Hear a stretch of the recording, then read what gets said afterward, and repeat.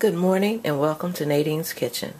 This morning we're going to fix some um, turkey breast cutlets.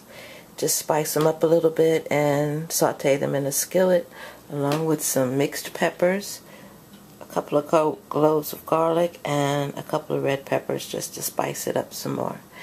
I will put the peppers and garlic and pepper into a skillet with about two tablespoons of olive oil I'll prepare my meat and add that to the skillet. Then we will cover and cook.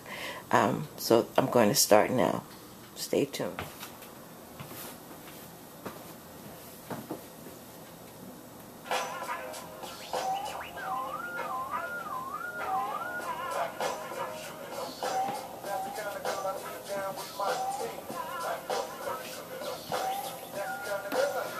Okay, step one, we're going to cut the strips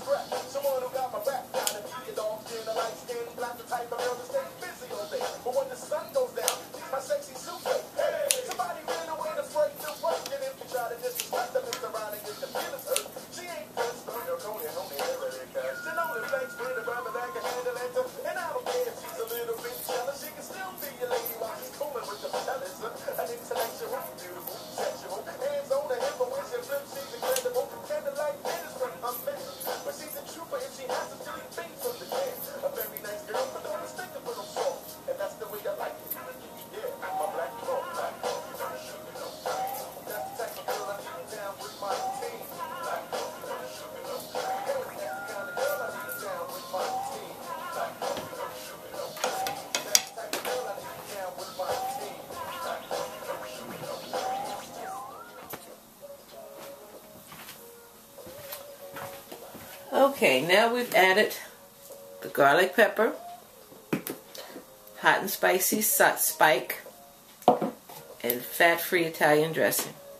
Sometimes I like to add a little hot sauce, but with the spike and the pepper, I think that's going to be enough for today. But add whatever spices you like. Mix it up. Put it in the skillet with the peppers and garlic that we saw earlier. And um, we'll come back for the next step. Okay, so everything is seasoned. I mixed it thoroughly so that the spices are evenly distributed. Now we'll add it to the skillet with the peppers. We'll cover and cook for 30 minutes, then we'll come back and check on it.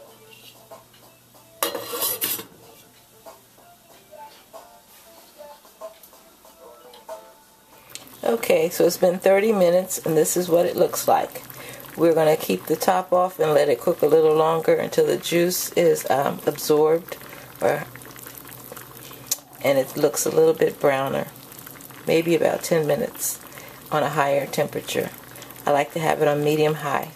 Okay, this is 20 minutes later and the meat is done. You'll notice that the vegetables all cooked down into just a little coating over the meat.